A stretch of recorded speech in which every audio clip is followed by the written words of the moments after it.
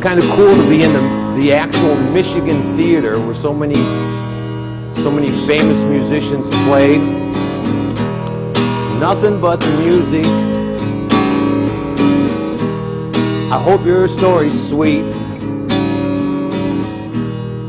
Nothing but the music. From the concerts to the streets nothing but the music. You know, this is a, this is a great place to think about nothing but the music. Because literally, this was a huge concert hall with the biggest names in the music world. From Bruce Springsteen to Bob Seger to Ted Nugent to Aerosmith to Kiss. And literally, literally, we're back in the street right now. And through the whole process, it's all about the music. Nothing about, nothing but the music playing songs, whether you're in the concert stage or in the street.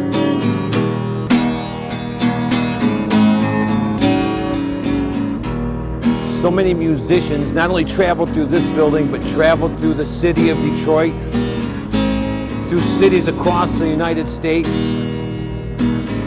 streets around the world.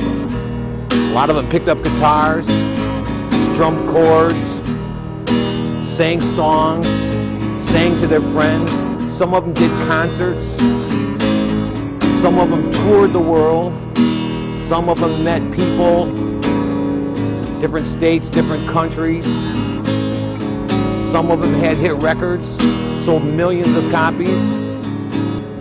But they all had to pick up a guitar. They all had to learn to tune it. They all had to think of a song they all had to perform in front of people.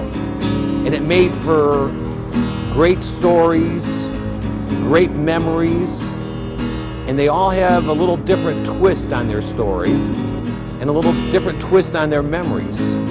For some people, being on stage at junior high school was the greatest memory of their lives. Maybe some people opened for the Rolling Stones or traveled with Kiss. Nothing but the music and I hope that story's sweet. Nothing but the music. From the concerts to the streets.